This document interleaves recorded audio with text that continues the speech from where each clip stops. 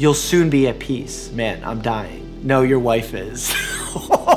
that is messed up, man. Memes are a great way to waste time, and a little procrastination never hurt anybody. Doctor, what do you see? Her, a virgin in his 40s.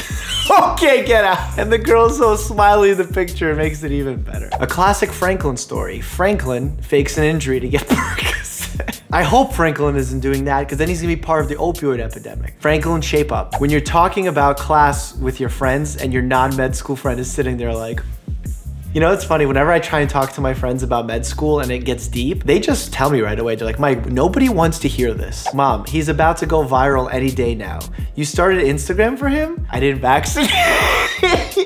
Got the black lung pop. Your throat is sore and swollen? These giant unswallowable horse pills should clear that right up. I have to constantly remind myself that a five-year-old or a seven-year-old cannot swallow these mega horse pills. But I'm gonna give you a strategy right now on how to swallow large pills. You ready? You take the pill, you put it on your tongue. Take a water bottle, preferably one that's three quarters of the way full. Tilt it up and then suck in so that the water bottle crumples a little bit and swallow. You won't even feel, the pill going down. Polio, hepatitis, tetanus breaking in. Then you have like a little essential oil Cheeto or Dorito or whatever that is holding the door. Essential oils. What are you doing? Polio has a rod in your Cheeto. Food falls. Bacteria after five seconds. It's free real estate. Bacteria don't hang out and go, wait, wait, wait, wait, wait, chills, chills, bros. Gotta give it a few seconds. No, they just hop right on. Doctor, what brings you here today? Me, my car, haha. Doctor writing in chart, not sexually active.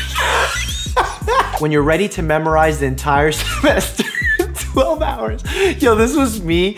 It's Thursday. My test is on Monday, and I'm just sit down. I have Roxy sitting be below me, and she's just looking up at me, waiting for me to take her out because she just loves to play all the time. And I'm like, no, I have to watch these lectures.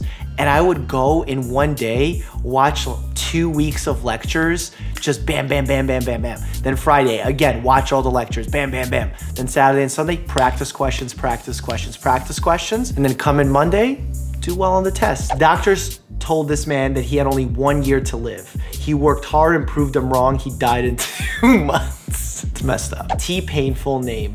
Tylenol pain relief. If that's really his name, that's really funny. I know it's not his name. Taking a test, 12C, 13C, 14C, 15C, me. Well, one of these gotta be wrong. Oh my God, when I saw a few in a row that were C or B, I would be having a panic attack and I would go back to try and change one of them. And I wish I didn't do that. Your first gut instinct is usually the right one. I have bad news and worse news. The bad news is you have 40, 24 hours to live. And the worst news, I meant to tell you yesterday.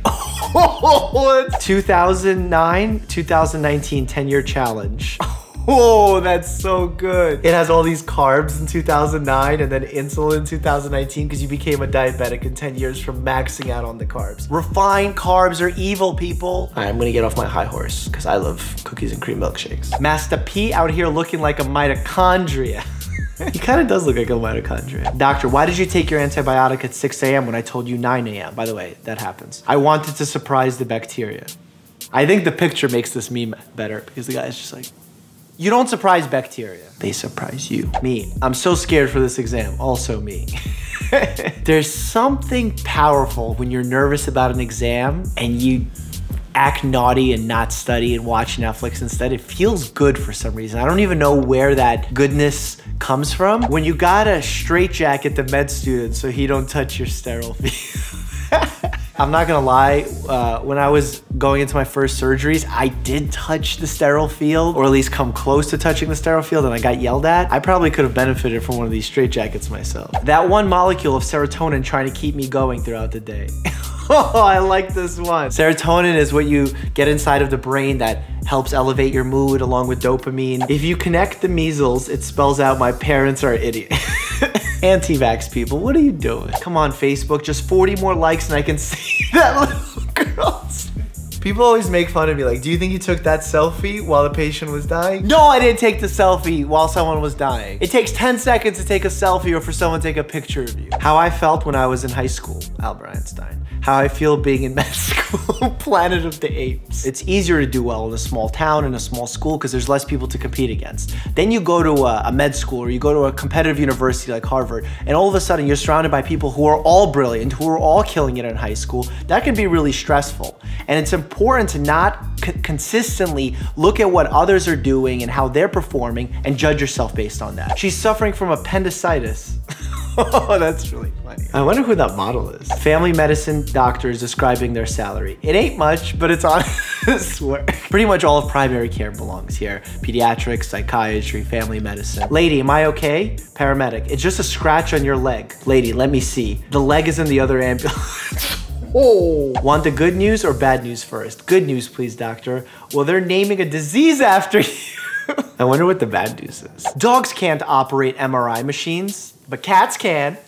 Yeah. Girl, why don't we get vaccines? Dad, honey, why would we trust doctors when we can trust the internet? Boy, I miss my brother. Girl, my blood Anti-vaxxers are gonna destroy my channel after this. Me when my classmates are talking about their answers after the exam. I was the worst when it came to this. No joke, after the test, I would run up to my classmates who were in my BSDO program and I'd be like, what did you get for the one that was about this? What did you get for the one about this? What did you put for the, and everyone's like, Mike, you're so annoying. We just wanna relax, leave us alone. Don't worry, buddy. I've got some essential oils doing their work. Hells yeah, bro, that lavender oil is kicking it. That fire. I swear to God, the essential oil community and the naturopaths are coming to get me. Doctor, the disease is gone, her. So my son is gonna be okay? I just told you, he's gone. Oh my god, these things just get worse and meaner and meaner. Why can't we just create funny memes that are just, you know, happy and uplifting? How, this is the most evil thing ever. Doctor, these tests show great health. Nice. They're not yours. You're barely alive.